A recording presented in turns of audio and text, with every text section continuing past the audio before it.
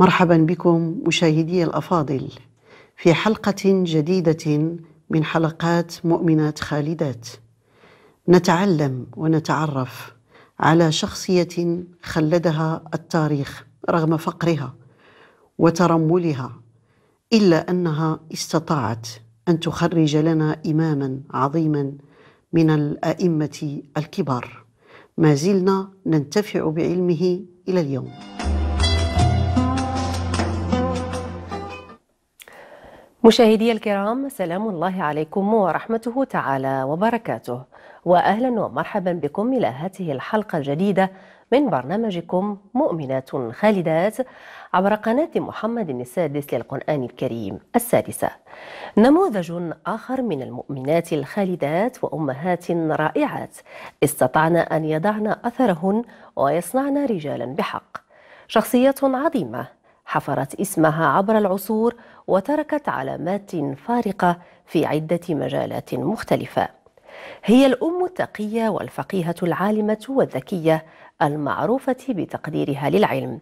كان لها دور بارز في بناء شخصية عالم من العلماء الأفداد إنها المؤمنة أم الإمام الشافعي رضي الله عنه. أم الإمام الشافعي هي شخصية هذه الحلقة من برنامج مؤمنات خالدات نتعرف عن تفاصيل حياتها مع الأستاذة الفاضلة نعيم بن عيش رئيسة المعهد الشرعي النسوي عائشة أم المؤمنين. أستاذتي أهلا ومرحبا بك في هذا اللقاء من برنامج مؤمنات خالدات. مرحبا. نواصل التعرف والتنقيب والتعريف بالخالدات اللواتي تركن أسماءهن خالدة في التاريخ الإسلامي وفي تاريخ البشرية بصفة عامة. الكل ربما يعرف الإمام الشافعي لكن لا يعرف من هو من صنع هذه الشخصية ومن كان وراء هذه الشخصية ربما كانت أم عظيمة أم بارعة في بناء هذه الشخصية شخصية الإمام الشافعي المعروف لدى المسلمين بصفة عامة. من هي أم الإمام الشافعي؟ بسم الله الرحمن الرحيم. الحمد لله رب العالمين والصلاة والسلام على سيدنا محمد وآله وصحابته أجمعين. أحيي المشاهدين الكرام في كل مكان الذين يتابعوننا داخل المغرب وخارج المغرب مرحبا بهم جميعا. في حلقة كما ذكرت متميزة جدا. سنتعرف على الشخصية التي كانت وراء الإمام الشافعي وهي هذه الأم. الأم المجاهدة الأم الشابة التي هاجرت مع زوجها الذي ذهب في تجارة نعم. وهو من من آل هاشم من بني هاشم. هاجر من مكة طلبا للتجارة. وانتهى به المطاف إلى غزة. وفي غزة تقول الروايات بأنه مرض وطال مرضه ومكثت معه هناك مات. فوضعت ابنها وحينما أكمل السنتين مات الزوج. نعم. توفي هذا الزوج وبقيت هذه المرأة الشابه الأرملة وحيدة مع هذا الابن الوحيد. لو كانت يعني امرأة مهيضة الجناح ضعيفة الشخصية نعم. آه، لا ظلت تبكي حتى تلحق بزوجها أيضا. صحيح. آه، ميتة حزنا أو عليه. نعم. أو ربما تبقى فيها الروح ولكن تظل ميتة وهي نعم. حية. صحيح. كثير من الأمهات يموتن. داخليا. آه، داخلياً. نعم. وينقطعن عن الحياة بعد ذهاب هذا الزوج. هذه المرأة كانت امرأة قوية كما ذكرتي ونظرت إلى هذا الابن ورأت فيه بأنه يستحق أن تعيش من أجله وأن تناضل من أجل أن يعيش هذا الطفل حياة طبيعية. آه، قررت أن ترجع إلى مكة حملت طفلها نعم. ورجعت إلى مكة المكرمة وعلينا أن نتصور رجوع هذه المرأة من غزة إلى مكة في ذلك الزمان نعم. لم يكن هناك طائرات ولا قطارات ولا سيارات نقل. ولا نعم. كانت هناك وسائل للركوب هي الدواب. نعم. وتتطلب أيام طويلة نعم. طويلة وشهور. فالرسول صلى الله عليه وسلم آه، يعني وصف في الإسراء والمعراج انتقاله آه، في ليلة الإسراء والمعراج من المسجد الحرام إلى المسجد الأقصى وصف بأن ذلك يتطلب مسيرة شهر. نعم. وهو قطع المسافة في بضع ساعات. نعم. بقدرة قدرة إلهية. الخالق نعم. سبحانه وتعالى. نعم. هذه المرأة ستحمل هذا الإبن وترجع من تلك الأرض المقدسة وترجع إلى مكة لكي لا ينقطع إبنها عن نسبه الحقيقي. نعم. يبقى مرتبط بأصله ببلده بنسبه. نعم. إذا أولا يجب أن نتعرف على قوتها من خلال هذا التفكير. آه. أن تعيد هذا الإبن إلى محضنه الأصلي وإلى وطنه الأصلي نعم. هذا أولا ثانيا أرادت له أن ي- يعني يكون فصيحا ويتكلم اللغة العرب. العربية الفصيحة الموجودة في مكة نعم. أكثر من هذا لما رجعت كانت فقيرة جدا ليس لها شيء نعم أخذته إلى قبيلة هذيل المعروفة بالفصاحة الشديدة ومكثت هناك في هذه القبيلة ما شاء الله أن تبقى يعني مدة زمنية حتى أصبح له لسان عربي فصيح. يقال بأن كان الإمام الشافعي أفصح الناس وكان أفصح في آه، آه، كلامه الشفهي أكثر من كتابته. نعم. هو يقول بأن حينما كان يكتب كان يكتب للجميع للعوام. نعم. ولكن في مناظراته كانت لغته جميلة جدا نعم راقية راقية نعم. جدا نعم. طيب قبل هذه- أن يصل إلى هذه المرحلة نعم. ربما تعلم ذلك في في صغره وتطلب ذلك جهدا وتطلب ذلك تضحيات من هذه الأم صحيح حتى آه، يصل إلى صحيح. هذا المبتغى كانت يعني أول تضحية هي هذا السفر في آه، الطريق الذي فيه مخاطر كبيرة كما ذكرنا والأمر الثاني أنها كانت امرأة جريئة نعم وقوية وقد ورث منها هذه الجرأة وهذه القوة وهذه القدرة على منافحة الآخرين في الحق. نعم. يذكر بأنها في مكة طلبت للشهادة. مرة طلبها القاضي هي وامرأة أخرى. للشهادة ففرق القاضي بين المرأتين. قال آه، يعني آه، تقف أمامه الواحدة تل- تلو الأخرى. نعم. فرفضت. قالت له كيف؟ تفعل هذا؟ والله تعالى يقول أن تضل إحداهما فتذكر إحداهما الأخرى. نعم.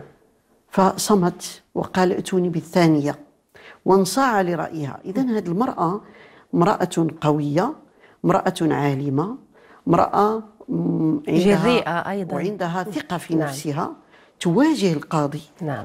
بقول الله تعالى ويستمع القاضي إليها تلزمه أن يحترمها. نعم. وأن يحترم رأيها المبني والمؤصل. صحيح. إذا هي امرأة كانت فيها يعني آه، صفات. عدة صفات. الصفة الأخرى؟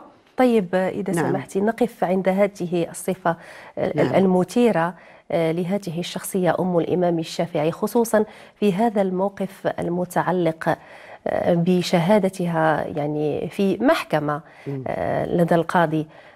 هذا الأمر نستنبط منه يعني ال- ال- الأخذ برأي هذه المرأة لم يقم هذا القاضي بنهرها ولم يقم بالحط من موقفها. احتقارها. نعم. دائما نحن من خلال برنامجنا نربط هذه الأمور بوقتنا الحالي. يعني نعم. في بعض الأحيان تسعى المرأة إلى تقديم شهادة أو تقديم نصيحة أو تقديم رأي لكن لا يؤخذ برأيها. نعم. وكأنها آه، آه، لها رأي لا يعتد به وكأنها آه، لن تجيد هذا الرأي وما إلى ذلك. حبذا لو يعني ن- نعطي آه، هذا النموذج الجميل لهذه المرأة ولهذا القاضي أيضا الذي نعم. كان هو أيضا رزينا وحكيما عندما أخذ برأيها. نعم. كما قال سيدنا علي حينما جاءه رجل ينتقده ويقول له كنا في زمن عمر كذا وكذا والآن نحن في زمنك نتعرض لكذا. قال كان في زمن عمر أمثالي. عمر حكم أمثالي. وأنا أحكم أمثالكم. نعم. فإذا آه، لابد أولا لا نعمم. نعم. لأن آه، لا يمكننا التعميم. دائما هو فيه ظلم ولا يتحقق العدل بالتعميم. فيمكن أن نجد بعض القضاة نعم. يستمعون. يستمعون لشهادة المرأة أو الرجل. لأنهم يخافون الله سبحانه وتعالى ويبحثون عن الحقيقة. نعم. ويبحثون عن ما يعزز هذه الحقيقة سواء من امرأة أو من رجل. هناك الفكر الذكوري موجود في المجتمع. نعم, نعم. ومهيمن نعم ومسيطر. المقصود ليس فقط لدى القاضي ربما حتى في بيتها عندما نعم. بصفة عامة نعم. فأنا أرى مثلا المرأة حينما تكون تسوق في الطريق. نعم. كثير من الناس يعني آه، يجابهونها ويعلقون عليها ويقولها هي امرأة أو كثير من الرجال أيوة، الرجال نعم. يعلقون ويقولون آه، سائقة امرأة نعم. آه، لو جلست في بيتها كان أفضل نعم. أو مثلا في السوق أو في أماكن شتى نعم. يعترضون على وجود النساء في بعض الأعمال في بعض فلا بد أن ننقي المجتمع من هذه الشبهات نعم. لأن الإسلام جاء لكي يضبط سلوكاتنا ويضبط أخلاقنا ويضبط تصرفاتنا ويضبط أيضا اختياراتنا ومعتقداتنا نعم. فمعتقداتنا من خلال الإسلام تقول بأن المرأة والرجل في خدمة المجتمع سيان نعم صحيح سواسية نعم. وسيحاسبون جميعا نعم. على كل واحد عنده قدرة لخدمة مجتمعه نعم. ولنفع الناس وأخفى هذه القدرة وكان أنانيا وعاش لذاته ولنفسه سيحاسب على نعم. ذلك نعم. إذا هذه المرأة لابد أن تتاح لها الفرصة ثانيا أصبحنا ننتمي لمجتمع صعب فيه مسؤوليات متعددة لم تعد المسؤوليات بسيطة وصغيرة لم يعد ذلك الطفل يذهب لأقرب مسجد للبيت ويتعلم فيه زمنا طويلا نعم. في الزمن الماضي كان الطفل يذهب إلى المسجد ويبقى يدرس على فقيهه وينتقل من فقيه لفقيه في نفس المسجد. نعم. ولا تحتاج المرأة أن تنتقل أو الأم أن تنتقل به من مدرسة إلى مدرسة أخرى. نعم. اليوم الأب يذهب للعمل وحتى إذا كانت المرأة لا تعمل فهي تعمل في الحقيقة هذه التي تشتغل سائقة. نعم. وتأخذ أبنائها للمدارس المدارس تأخذهم نعم. للطبيب تأخذهم نعم. للرياضة تأخذهم للنوادي تملأ أوقاتهم تراعي تربيتهم حتى لأن الفراغ هو الذي يقتل صحيح. الطفل نعم. وهو الذي يعيق المسار التربوي للطفل نعم. هذا بالضبط ما فعلته أم الإمام الشافعي نعم. رجعت به إلى مسقط إلى إلى مسقط. آه وطنه الأصلي أصله نعم وذهبت به إلى المسجد وكانت امرأة جريئة وتعلم هذه الجرأة وسمع. الناس يتحدثون عن أمه وعن جرأتها أمام القاضي قاضي. ودخل ذلك في آه يعني في ذهنه عقله وفي عقله وفي الآن الداخلية. نعم. وفهم بأن المرأة يمكنها أن تدلي برأيها. كبر في هذا المحيط. نعم. كبر في هذه الأجواء. الإمام الشافعي كان فقير جدا كما ذكرنا. وأمه كانت فقيرة. ولكن لم يمنعها ذلك من أن تأخذه للتعلم. نعم. وأخذته إلى المربي. في يعني المسجد القريب منها وألزمته أن يذهب. وطلب المربي أجرة نعم. لم تكن عندها الأجرة طيب نتحدث نعم. عن ربما موقف جميل مع هذا المدرس من طرف أم الإمام الشافعي نعم. آه، وإصرارها على تعلم ابنها بشتى الطرق بعد هذا الفاصل إذا سمحت أسادتي الكريمة وأنتم أيضا مشاهدي الكرام نواصل معكم التعرف عن مؤمنة هذه الحلقة من برنامج مؤمنات خالدات وهي أم الإمام الشافعي بعد الفاصل مرحبا بكم أعزائي المشاهدين في الحلة الجديدة لبرنامجكم التجويد الميسر. وفيها بإذن الله تعالى سنواصل التعريف بأحكام التجويد ونختم بفقرة المصحف المعلم برواية ورش عن نافع من طريق الأزرق. ألم تروا كيف خلق الله سبع سماوات طباقا؟ ألم تروا كيف خلق الله سبع سماوات طباقا؟ نعم تكون في الموعد كتاب الله نجدد بكم التحية والترحاب مشاهدي الكرام ونواصل معكم هذه الحلقة من برنامجكم مؤمنات خالدات ومؤمنة هذه الحلقة هي أم الإمام الشافعي دائما مع الأستاذة الفاضلة نعيمة بن عيش. رئيسة المعهد الشرعي النسوي عائشة أم المؤمنين فأهلا ومرحبا بك من جديد أستاذتي الكريمة. طيب قبل الفاصل تحدثنا عن موقف جميل لأم الإمام الشافعي وجرأتها أمام القاضي عندما أرادت أن تدلي بشهادة معينة أمام هذا القاضي. أيضا موقف آخر آه، تحلت به هذه المرأة وهذه المؤمنة عندما أصرت على أن يتعلم ابنها العلم والطريقة التي كان يطلب بها هذا العلم. ربما هي أيضا فيها تميز لهذه المرأة. نعم. آه، أخذته لي كما ذكرنا ليطلب العلم من آه، أقرب مسجد لبيتها. وكان آه، يعني في سنواته الأولى من عمره. تقول يعني الروايات التي كتبت عن الإمام الشافعي بأن أمه لم يكن عندها شيء. ولا درهم ولا شيء. كانت فقيرة. كانت فقيرة جدا. وكان الإمام الشافعي يذكر ويقول بأن كانت تمر عليهما الأيام هو وأمه ولا يجد طعاما. فهذه الأم التي تركت الحياة تركت الزواج لم تفكر في أن تتزوج مرة أخرى وفكرت فقط في تنشئة هذا الطفل تنشئة صالحة كاملة.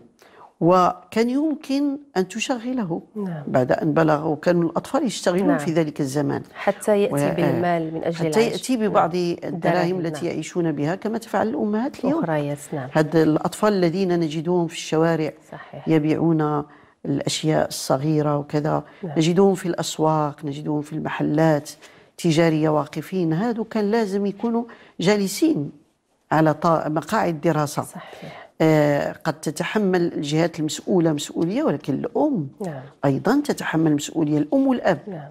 يتحملون المسؤولية الأكبر والأولى. فلننظر إلى هذه المرأة ماذا فعلت. أخذت طفلها والمدرس طلب منها الأجرة فقالت له أنا فقيرة ليس عندي أجرة. ولكن جربه. قالت له جربه. إذا كان صالح للدراسة وجدت فيه نجابة فبعد ذلك ن- نتكلم في الموضوع. نعم.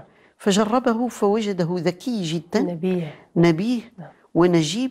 لابد أن الإمام الشافعي محمد بن إدريس لابد أنه كان يفكر دائما كيف يعين أمه. نعم. كيف يجد حلا نعم. للمعضلات التي تعيشها الأم. تعلم تحمل المسؤولية فتحمل مسؤوليته منذ الصغر نعم. ودفع أجرته من عمله وهو صغير. فكيف دفعها؟ كان ينوب عن عن مدرسه حينما يخرج أو ينشغل بشيء أو يذهب للصلاة أو يذهب لتجديد الوضوء أو يلتقي بعض الآباء فهو الذي يحرس التلاميذ ويعيد عليهم الدرس. نعم. وكان كل ما سمع من المدرس يحفظه نعم. يجد في الحفظ وفي الدراسة وبذلك اتخذه المدرس نائبا عنه. فقال للأم إن ابنك يدفع أجرته. نعم. فلا حاجة لأجرة أخرى. إذا هو أيضا كان ذكيا في تدبير هذا صحيح. يعني كان الأمر. مسؤول علمته تحمل المسؤولية.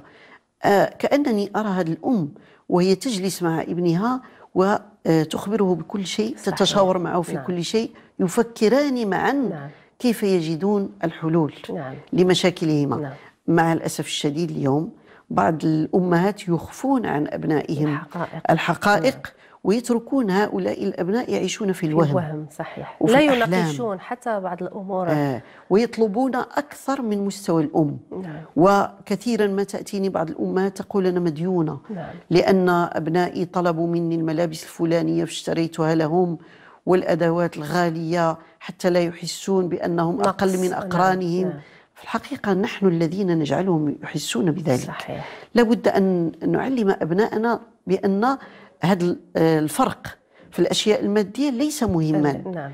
المهم أن لا يكون هناك فرق في المستوى التعليمي. نعم والمعرفي أن. تحقق ذاتك في أشياء أخرى نعم. وليس في المظاهر وليس في الماديات. نعم. لم يمنع هذه الأم الفقر من أن تبعث ابنها إلى المدينة المنورة كان عنده حلم. وكان عندها هي أيضا هذا الحلم. أن يتتلمذ ابنها على الإمام مالك. نعم. الإمام مالك كان نجم العلماء في زمانه. نعم. كان أعلم من في الأرض. وكان الناس إذا رأوا أحدا فيه نجابة يعني هيبة. يغرسون في عقله.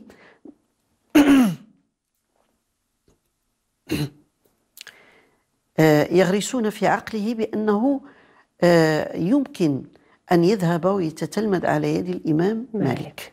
والدخول على الإمام مالك لم يكن سهل. نعم. الإمام الشافعي درس في مكة تتلمذ على كثير من العلماء الموجودين من ضمن العلماء الذين كانوا في زمانه وكانوا موجودين ودرس على أيديهم الإمام أحمد بن حنبل كان نعم. موجود في مكة. نعم. ودرس عليه وفي آه، رواية عن ابن الإمام أحمد بن حنبل بأن اعترف الإمام أحمد بن حنبل بأنه ظل أربعين عاما يدعو كل ليلة للإمام الشافعي. فهذه العلاقة الجميلة بين العلماء. نعم. لابد أن كان وراء هذه الأم التي غرست في ابنها كيف يحب العلماء صحيح. كيف يتعامل مع العلماء كيف آه، يقدرهم. يقدر العلماء. فلذلك أحبوه جميعا. نعم. فكان عنده حلم أن يذهب عند الإمام آه، مالك. ويتتلمذ على يديه فبحثت الأم على كتاب الموطأ. نعم. طبعا لم تكن هناك الطباعة. صحيح. وكان صعب جدا نعم. أن تجد هذا الكتاب. نعم. الكتاب منسوخ مكتوب باليد نعم. فوجدت نسخة وطلبتها من أحد العلماء. وأعطتها لابنها محمد بن دريس وألزمته أن يحفظ الموطأ. الموطأ. فيقول الإمام آه، الشافعي أنه حفظ تحت رقابة أمه. أمه نعم.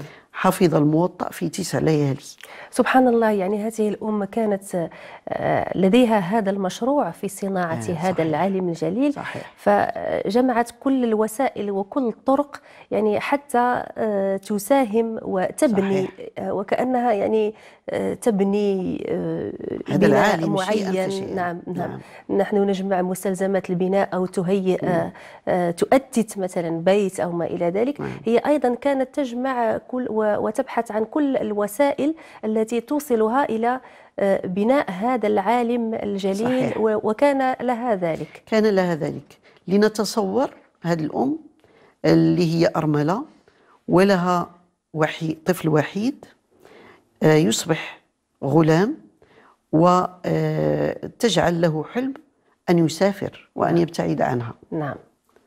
فأن يكون آه، في المدينة المنورة يعني أكثر من 500 كيلومتر نعم. ما بين مكة والمدينة والمدينة نعم ومع ذلك حولت هذا السفر إلى حلم نعم. لابنها وليس إلى بكاء نعم. ومرثية إحنا نرى بعض الأمهات الابن يكبر ويريد أن يدرس في مدينة أخرى نعم أو في بلد آخر عنده طموحات تبدأ الأم في البكاء كيف سأفارق ابني وابني وفراشه وحيد و- نعم. ومكانه وأنظر إلى كذا و... هذه الأم بالعكس نعم. كانت محفزة لابنها لكي يصل إلى المعالي نعم فحفظ الموطأ وذهب يقول لم يكن عندي شيء ولا عند أمي شيء فأعطتني بعض الكسور وبعض التمر كسور الخبز نعم. الجاف وبعض التمر وبعثته في قافلة لطلبة العلم إلى المدينة المنورة نعم. وسعت قبل أن يذهب سعت معه أن تذهب إلى الوالي الذي يحكم مكة المكرمة وأن تطلب منه شهادة في حق ابنها تشفع له عند الإمام مالك نعم يعني آه، مجهودات جبارة نعم. ويأخذ معه هذه الوصية من من والي مكة. الوالي من نعم. والي مكة ويذهب إلى آه، مكة المكرمة ومع ذلك يجد صعوبة في أن يستقبله الإمام مالك لأن الإمام مالك كان يأتيه من العالم كله. نعم نعم. فكان يتخير وينتقي من سيكون طالبا في مجلسه. نعم.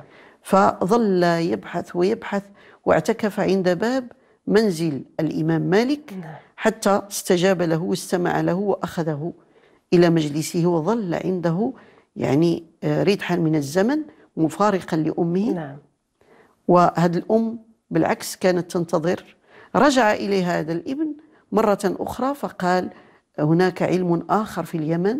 يجب أن آه، إلى ي- يقال بأن اليمنيين كانوا مشهورين بعلم الفراسة. نعم. فقالت له اذهب. إذا نعم. فذهب إلى اليمن وهناك اعتقل وامتحن ومع ذلك صبرت. نعم. ثم رجع مرة أخرى فقال هناك علم آخر في بغداد. نعم. فقالت له اذهب اذهب، نعم. وابحث عن هذا العلم. فذهب إلى بغداد. ثم ارتحل إلى مصر وفي الأخير مرض ودفن في مصر وعمره 54 عاما رحمة الله عليه رحمة يعني الله عليه. آه، آه، ما سعت إليه هذه الأم وما رسمته وخططته لابنها حققته من. خلال إصرارها ومن خلال ذكائها وجرأتها وصبرها أيضا على فراق ابنها عندما كان آه، يعني يقوم بهذه الرحلات من أجل طلب العلم وهي فعلا نموذج جميل وحق. حبذا لو نقتدي به ونأخذها آه، نأخذ هذا النموذج نبراسا لنا في حياتنا. ربما دعوة لكل الأمهات حتى يساهمن ويساعدن أبنائهن في طلب العلم لأن صحيح. بالعلم آه، يعني آه، تفتح الأبواب ويكون المستقبل الزاهر للأبناء بصفة عامة. تفضل نعم. أستاذ آه، كان يمكن أن يموت الإمام الشافعي ويسمى يتيم. نعم. وأن تموت هذه ال- الأم وتسمى أرملة. نعم. ويكفيها أنها رعته وبحثت له عن المأكل والمشرب. ولكن صبرها وثباتها وجرأتها وبعد نظرها حينما رأت من ابنها النجابة نعم. والذكاء والقدرات الهائلة فكانت وسيلة معينة لابنها صحيح كانت تسعى لكي تجعل هذه القدرات تظهر وينتفع بها الناس نعم. الإمام الشافعي معروف بالمناظرة وبالجرأة آه، معروف بأنه هو الذي وضع علم أصول الفقه نعم، وعلم صحيح. أصول الحديث نعم. فهاد العلم الزاخر هذا العلم الكبير الذي كان قدره الإمام مالك نعم. عالم الدنيا نعم. ويعني قربه إلى مجلسه وأعطاه الحق في أن يفتي نعم. فيما بعد ويعود إلى مكة المكرمة مفتيا وذهب إلى آه، ال- اليمن وأفتى وذهب إلى مصر وأفتى كل هذا لم يكن ليحصل لولا عناية الله عز وجل وهذه الأم صحيح. الجريئة هذه الأم ال- يعني ال- المقتدرة الأم التي ضحت بكل شيء صحيح من أجل صناعة عالم كبير لأمة الإسلام. والذي بقي اسمه يعني لامعا وساطعا صحيح. إلى يومنا هذا. ومذهبا عظيما. نعم نعم. تدين به وتتبعه عدة دول نعم. إسلامية في العالم. نعم, نعم. إذا رحمة الله عليها على أم الإمام الشافعي التي آه، أنجبت لنا هذا العالم الجليل وبه آه، يعني على مذهبه الكثير من مسلمي بقاع العالم. آه، كانت فعلا شخصية مميزة لهذه الحلقة من برنامج مؤمنات خالدات. عرفتينا عليها أستاذة الفاضلة نعيمة بن عيش رئيسة المعهد الشرعي النسوي عائشة أم المؤمنين. نرجو أن تكونوا قد استفدتم أنتم أيضا مشاهدي الكرام من شخصية هذه الحلقة من برنامج مؤمنات خالدات والتي كانت هي أم الإمام الشافعي حقا وفعلا نعم الأم التي أنجبت وربت وأعطت لنا عالما فدا. نرجو أن نكون أن تكون لنا قدوة أيضا. نحن الأمهات في تربية أبنائنا وفي حرصنا آه، وصبرنا وتشبتنا بطلب العلم لهؤلاء الأبناء حتى يكونوا المستقبل الزاهر بإذن الله تعالى. في الحلقة المقبلة نتعرف عن شخصية جديدة من مؤمنات خالدات. نشكر لكم حسن وفائكم ونلتقي بإذن الله في لقاء جديد ومتواصل معكم. مشاهدي الكرام فريق عمل البرنامج يحييكم والسلام عليكم ورحمة الله تعالى وبركاته.